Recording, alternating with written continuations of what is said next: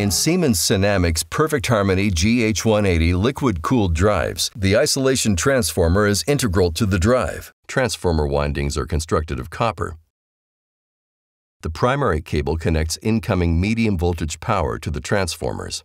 The GH180 liquid-cooled drives can accept primary voltages as high as 13.8 kilovolts as standard and even higher when required by a customer's application. At the bottom of the isolation transformer are the plus minus 5% taps. All connections are torqued to a specified limit and marked per Siemens extensive quality procedures. The control connections are keyed to provide a fail-safe way for operators to reconnect the NXG2 controller and the sensors that monitor conditions in the transformer cabinet. Silicon hoses provide the cooling fluid necessary to keep the drive at an optimal temperature and efficiently run customer processes.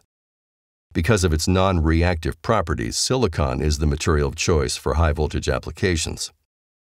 Thermal switched monitor fluid and cabinet temperature and transformer secondaries continue into the cell cabinet for connection.